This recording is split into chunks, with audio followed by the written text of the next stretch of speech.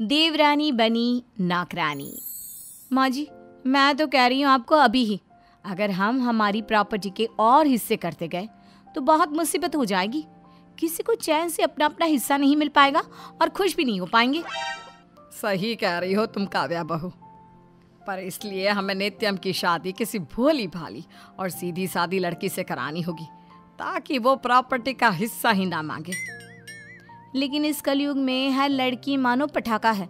सब होशियार है। बोलो मत। पटाखों में भी फुसके पटाखे होते हैं। ये है उर्मिला और उसकी बड़ी बहू काव्या।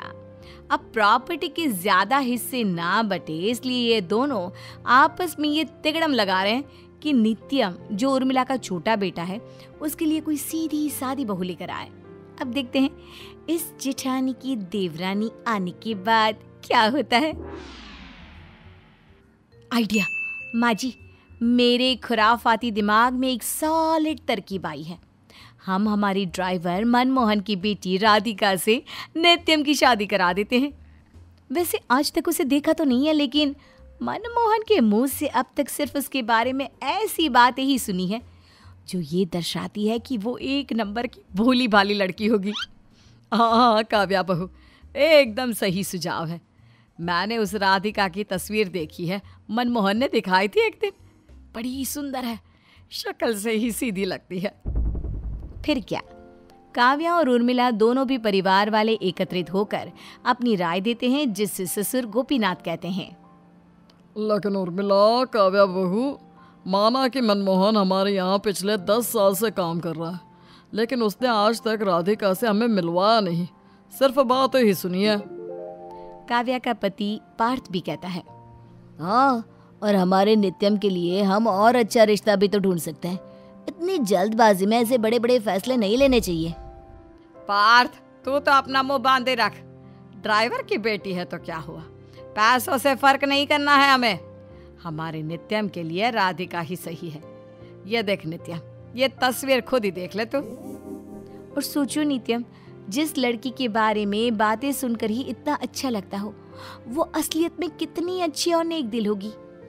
नित्यम, राधिका और तुम्हारी जोड़ी एकदम बेस्ट है। ज़्यादा दिमाग को ना सोच वोच कर स्ट्रेस मत दो। बस हाँ कर दो जल्दी से। पहली नज़र में ही राधिका को देख, नित्यम को उससे प्यार हो जाता है। बाद में मनमोहन को राधिका और राधिका की माँ सुरेखा को भी बुलवाकर रिश्ता पक्का हो जाता है।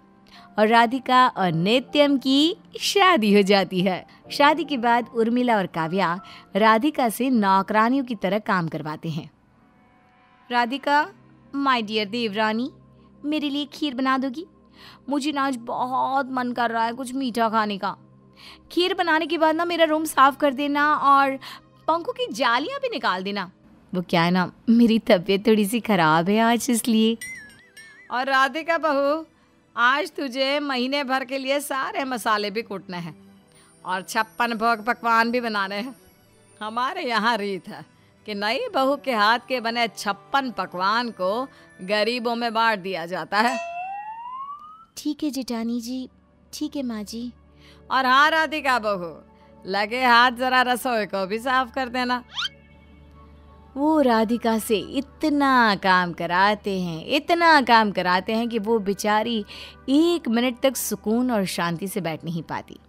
किचन की खिड़की से बाहर से मनमोहन अपनी बेटी को घंटों तक काम करते देखता है और उसके पास आकर कहता है, राधिका बेटा, दोपहर में जाते वक्त भी तू रसोई में काम कर रही थी।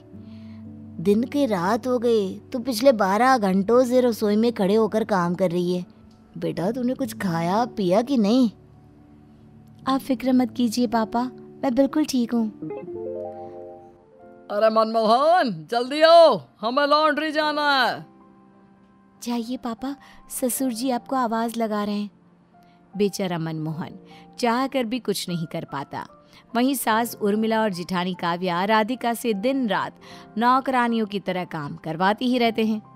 लेकिन इस कहानी की असली विलन तो काव्या होती है। वो अपने देवर नित्यम से कुछ पेपर्स पर साइन कराने ले जाती है। देवर जी आ, ये इन पेपर्स पर ज़रा साइन कर दीजिए ना फटाफट। वो क्या है ना मोहल्ले में होने वाले उत्सव की तैयारियों के लिए चंदा देने के पेपर्स हैं। इस पर साइन कर दीजिए। अब वो क्या है ना पार्थ घर पर नहीं है ससुर जी भी मंदिर गए हैं। नित्यम जो कि नाश्ता कर रहा होता है और किसी से फ़ोन पे बात कर रहा होता है वो तुरंत पेन उठाता है और बिना देखे पढ़े समझे वो उन पेपर्स पर साइन कर देता है। यहाँ करनी है ना भाभी? हाँ हाँ हाँ। असल में काव्या एफटी के पेपर्स पर नित्यम से साइन करा रही होती है और वो पेपर्स पर लिखे गए एफटी पर अपना हाथ रखती है ताकि जल्दबाजी में भी नित्यम की नज़र उस पर ना जाए। तभी उर्मिला वहाँ आकर क्यों रे नास बेटी? बहुत सातवें आसमान पे उड़ रही है ना इन कागजों को पकड़कर। क्या साइन कराया तूने नित्यम से? अरे कुछ भी तो नहीं माँ जी वो मोहल्ले में उत्सव है ना, उससे रिलेटेड पेपर्स है। और मैं खुश इस बात से हूँ, क्योंकि हमारा देवरानी को नौकरानी बनाने का प्लान सफल हो रहा है। दत्ताली! काव्या ये कहकर चली जाती है। वहीं उर्मिला को उसके बर्ताव पर शक होने लगता है। रसोई से छुपकर राधिका ये सारा तमाशा देख रही थी। धिंक चक्का धिंक चक्का धिंक चक्का रे।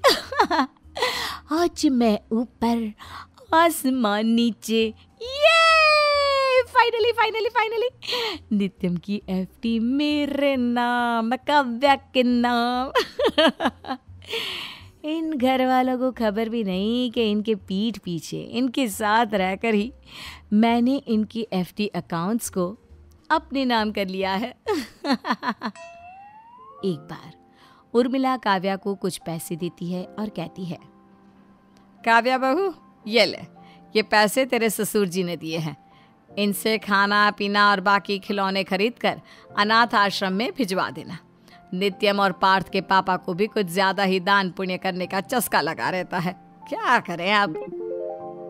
ठीक है, कर दूँगी। दीजिए पैसे। लेकिन काव्या उन पैसों से अनाथ आश्रम में सामान भेजने के बजाय खुद ही शॉपिंग, स्पा और खाना पीना करके घूम फिर के घर आती है और एक दिन में ही सारे के सारे पैसे उड़ा देती है। लेकिन वो एक गलती कर देती है कि वो उस सब का बिल अपने पर्स में ही ले आती है। और उसे इस बात की खबर भी नहीं रहती। अगले दिन उर्मिला जब काव्या से पूछती है काव्या बहू तुमने अनाथ आश्रम में भिजवा दिया ना सामान? जो कुछ भी मैंने कल तुमसे कहा था।